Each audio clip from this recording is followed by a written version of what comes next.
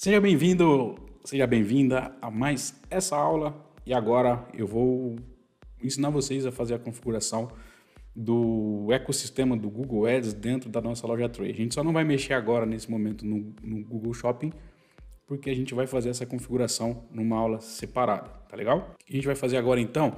Clica aqui na descrição dessa aula, tem um link para um arquivo, você já clica nela e também você vai precisar da sua conta do Google Ads. Se você não tem, clica aqui embaixo que tem um link para você criar. Se você já tem, acesse então a sua conta do Google Ads. Tá legal? Bora para ação então. O que a gente vai fazer então? O primeiro passo, clicou no link, você vai cair aqui nessa página, tá? Clicou com o botão direito na página, direito do mouse, a gente vai vir aqui em salvar como.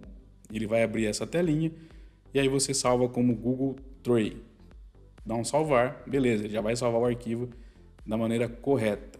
Pode fechar a janela. Vamos vir agora dentro do nosso Google Tag Manager, que a gente já fez a criação e a configuração na última aula. Aqui dentro, em, tá vendo aqui em cima? A gente tem administrador. Vamos clicar aqui em administrador. Nessa opção aqui, ó, importar container. Legal? Clica nela. Escolher arquivo do container. E agora a gente vai procurar onde a gente salvou o arquivo aqui, ó, Google Trade. Dá um abrir. Prontinho, ele já está aqui. O que a gente vai fazer agora? Pode deixar aqui como substituir, não tem problema. Porque a gente vai começar do zero, tá? Então, se você tiver alguma configuração, com certeza ela vai ser zerada. Se você já tiver alguma configuração e não quiser perder, você coloca aqui em combinar e deixa aqui substituir tags em conflito, tá? Mas no caso, como é do zero, eu vou colocar aqui em substituir. E aqui, área de trabalho existente. Então a gente seleciona o Default Workspace. Aqui ele já vai dar que a gente tem 9 tags, 7 gatilhos, 16 variáveis, tá? Então a gente vai vir aqui e confirmar. E voilá! Prontinho, tá? Olha só quanta coisa que eu já poupei o seu serviço aí. Agora a gente vai fazer algumas configurações rápidas, tá bom? A gente vai vir aqui em tag. E aqui agora a gente vai clicar nessa tag, ó, código de acompanhamento do Google Ads, tá vendo? Tem dois tem o acompanhamento e o código de acompanhamento. Repare que esse aqui é no All Pages, tá? Então, todas as páginas. A gente vai clicar aqui, vai abrir essa telinha. E agora, Tadeu? A gente vai lá no nosso Google AdWords. Dentro do nosso Google Ads, a gente vai vir aqui em ferramentas e configurações. E agora em métricas, tá vendo? Na coluninha métricas, a gente vai vir em conversões. Aqui em conversões, Vamos vir em nova ação de conversão. A gente coloca aqui site. E aqui a gente coloca o domínio do nosso site. Então coloque o domínio da sua loja. Colocou o domínio, verificar. E agora aqui ele deu duas opções, tá? Essa primeira não vamos mexer, vem aqui criar ações de conversão manualmente, tá? Então você vem aqui, ó, clica no botãozinho de mais, e a gente vai selecionar aqui compra, deixa, pode deixar como compra aqui, não tem problema.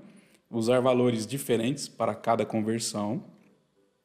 Contagem todas. Janela de aqui você pode manter desse jeito e a gente vai dar aqui um concluído. Maravilha, apareceu aqui, ó, tá vendo? Vamos vir aqui em salvar e continuar. E ele vai abrir essa página. Aqui, você tá vendo esse códigozinho aqui embaixo, eu vou dar um zoom para você ver, ó. Começa com AW, a gente precisa dele, tá? Então, já vou dar uma dica, se você selecionar e soltar o botão do mouse, você não consegue. Bisuzinho, clica, arrasta e segura. Aí você vai dar um Ctrl C para copiar. Legal? Feito isso, deixa eu tirar o zoom, né, Tadeu? Feito isso, a gente volta aqui para o nosso Tag Manager. Tá vendo aqui onde tem um AW, a gente vai substituir. Prontinho, dá um salvar.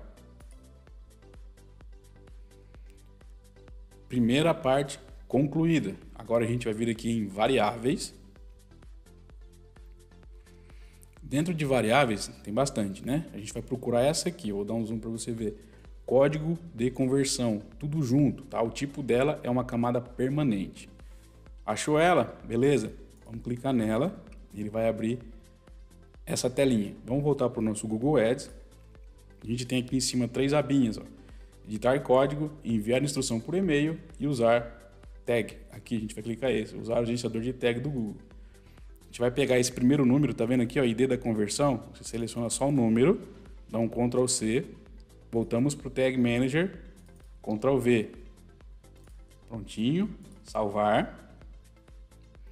E agora, Tadeu, o que mais? A gente vai procurar aqui dentro do Tag Manager essa variável aqui, ó, rótulo de conversões. Deixa eu dar um zoom para você ver como está escrito. Rótulo de conversões, está escrito tudo junto.